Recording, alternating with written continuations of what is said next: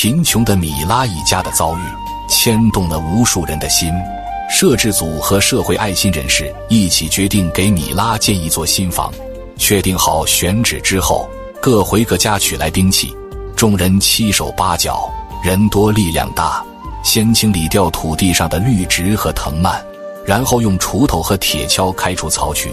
不需要设计图纸，农村的房子大都一般无二，大家心中有数，按照自家的模样修建即可。借着无人机可以清楚看到尼泊尔大山中稀疏的民宅和郁郁葱葱的风光。米拉的家就是这个不起眼的窝棚。相信在众人的合力帮扶之下，米拉家里很快就会有明显改善。这块土地的土质以沙土为主。较为松软比较好啊，所以进度很快，一天的时间就已经可以看出房屋的雏形。技术工拉出皮尺，测量距离，插好标杆。因为土质过于松软，需要加固地基，需要从附近的山林中采来大石。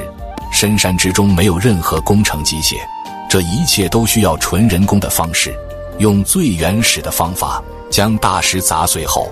用背篓一趟一趟的背回米拉家中，整个工程需要石头量相当大，众人也是轮换进行往返数次。尼泊尔当地人背东西采用铁头悬挂的方式，这种是他们从小练就的本领。数百斤重的一筐石头挂在脑袋上，在崎岖的山路上来回穿梭，如履平地。相信通过众人的不懈努力，不久后米拉将会和孩子们。拥有一个可以遮风挡雨、温暖的新家，而这也正是无数热心人关爱的结果。正如米拉所说的话，他将永远感恩每一位好心人。人间自有最纯洁无瑕的无边大爱。感谢观看，谢谢关注，下期更精彩。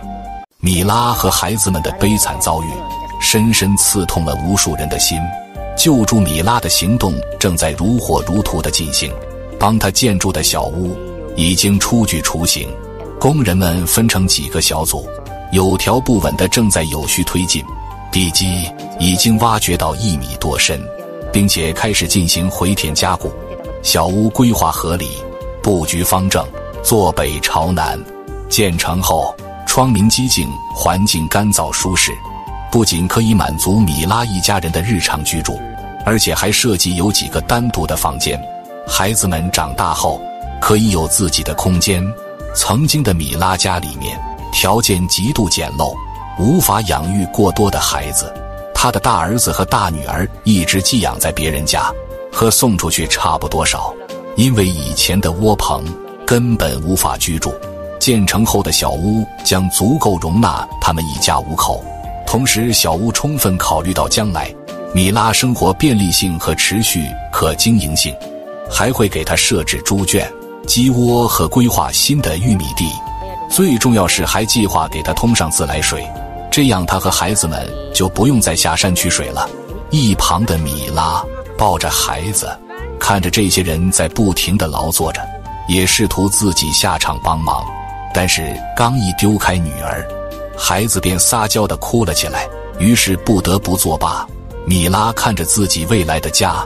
心里也是充满期待，对所有的好心人充满感激。想到这美好的一切，这值得期待的未来，米拉禁不住脸上露出灿烂的笑容。还没完，请继续观看。村长这次不但热心协调大家的工作，还无私捐赠出家里珍藏的木板。这些木板本来是村长留给儿子的，准备将来给儿子结婚时盖房使用。现在看到社会各界爱心人士的无私捐赠，村长也爱心萌发，决定将这些木板捐赠出来，用于制作门窗和家具。这些木板是上好的松木材质，虽然已经存放多年，除了有些灰尘以外，依然崭新如故。另外，村长从自家拉出电线，腾出空地，用于加工制作门窗家具。与此同时，采石工作依然有序地进行着。尼泊尔农村的房屋采用土石混合结构，当地没有红砖，也没有制作红砖的技术，所以房屋大多采用土石混合的方式。山中随处可见的巨石就是最好的建筑材料。建筑的房屋也会特别坚固耐用，只是这些石头的采集过程有些艰辛，运送这些石头更是费力又费人。当地十里八村的青壮小伙子们都应声到场，为这座爱心小屋付出自己的一份力。一块石千余斤，众人需要凭借双手挥舞铁锤，一下下一锤锤敲碎，再用背篓一步步运回。与此同时，市里的领导也远道而来，专程到现场慰问米拉和繁忙的工人们。在村长引荐和介绍之下，领导首先参观了米拉原来的住房。曾经漆黑、简陋、破败的窝棚，似乎随时在诉说着这一家人的不幸，深深地刺痛了领导们的心。还没完，请继续观看米拉和孩子们的悲惨遭遇。深深刺痛了无数人的心，也惊动了市里的各级领导。市区领导亲自前来慰问，并参观新房的建设，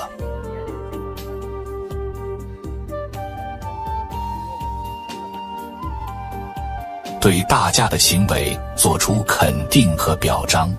另外，还带来了省里的爱心捐款，当面一并转交给建筑队。村民们。里三层外三层，将领导团团围住。随后，领导代表官方，对所有的社会各界爱心人士的善举表示感谢，对于这种正能量表示赞许和大力弘扬。